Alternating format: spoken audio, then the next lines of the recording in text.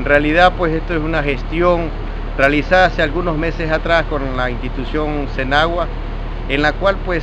logramos que un tanquero de los seis que fueron designados en Manabí, uno sea entregado para Puerto López en comodato a cinco años. Esto quiere decir que eh, este tanquero pues eh, va a ir pues justamente para la empresa de agua potable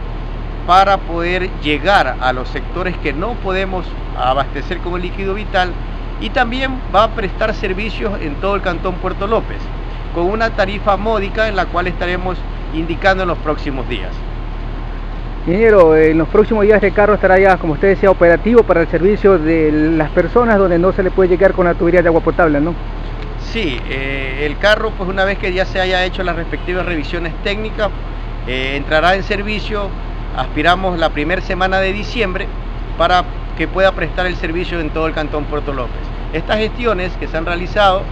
eh, también incluye la entrega de otros bienes que en los próximos días daremos a conocer, bien por Puerto López, bien por la empresa de agua, en la cual pues se ha obtenido y se ha llegado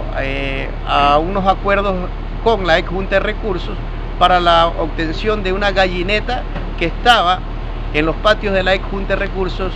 que por derecho y por ley le correspondía al Cantón Puerto López. Hoy por hoy está prácticamente cristalizado todo el trámite administrativo, solo nos falta eh, la entrega formal de la maquinaria que será también en los próximos días y también será trasladada al Cantón Puerto López porque así, le, así lo dice la ley y así hemos logrado cristalizar este proyecto desde hace dos años que no lo habíamos podido cristalizar. Mira, esto demuestra el nivel de cómo se viene trabajando en esta administración encabezada por usted en la empresa de agua. Hemos tratado de cumplir con lo que fuimos nosotros en su momento, eh, tuvimos el compromiso con un cantón, hoy por hoy será la ciudadanía quien determine en su momento cuál ha sido la gestión si ha sido buena, mala y será ella misma la que lo vaya a calificar. Su eslogan de propuesta de trabajo es cambiando la historia de la empresa de agua, se está cumpliendo. Creemos y estamos convencidos que estamos cambiando la historia de Puerto López, dejando un camino trazado para las futuras administraciones. Hoy por hoy, la empresa de agua potable de Puerto López